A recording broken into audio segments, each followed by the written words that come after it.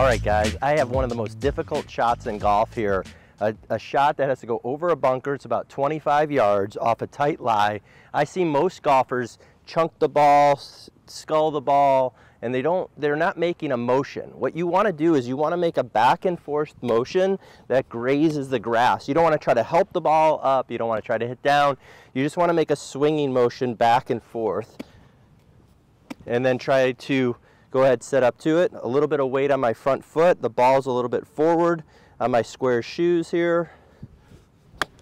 And I'm gonna be able to chip that ball right over the right over the bunker onto the green. Gonna give myself the best chance at making that putt. Thanks for watching. I know this is gonna help you.